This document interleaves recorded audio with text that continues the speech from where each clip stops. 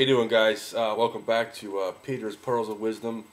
Um, today, I want to talk to you a little bit about uh, about being successful and uh, my whole idea on uh, on being successful. I I believe that in, in, order to be successful, you have to be arrogant, and uh, I'm as arrogant as they come because I'm as awesome as they come, and I know this. I, I, I firmly believe that you have to, in order to get ahead in life, you have to look out for yourself, uh, watch your own back, uh, because nobody else is going to do that for you.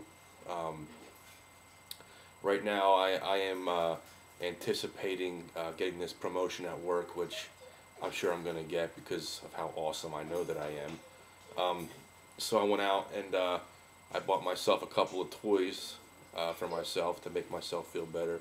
I got myself uh, a nice new boat and uh, some jet skis um, because I'm very very sure that I'm going to get this promotion because when I when I go through life I, I uh, set things up because I believe and I not just I believe I know that I am the one that controls my destiny. Um, I, I, I have control of my life. I decide when and where I'm going to go with it. Um, and you know, being arrogant and and very very very sure of myself. You know, I'm not talking about being confident, people. I'm talking about being arrogant because I am arrogant and it gets me what I want every single time. Um, like I said, I, went out and I and then I didn't even get the promotion yet, but I'm pretty sure I'm going to get the promotion because because I like I said I control my destiny whatever I whatever I want to do gets done. It gets done the way that I want to do it, and I'm the one that's in control of it. Nobody else is in control of it. I'm in control of it because no one else has my has has my back but me.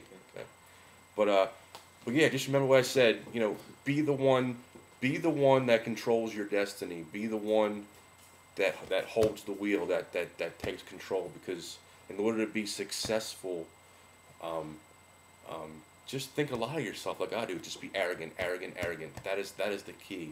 Arrogance in life. Uh, doesn't matter if you offend anybody because who cares? It's, it's all about making yourself happy. Go out, get yourself some toys, and uh, just anticipate your future because you're the one that controls it. Thank you. Hey guys, be sure to check out my website, nextdrphil.yellowsite.com. Get there. Thank you.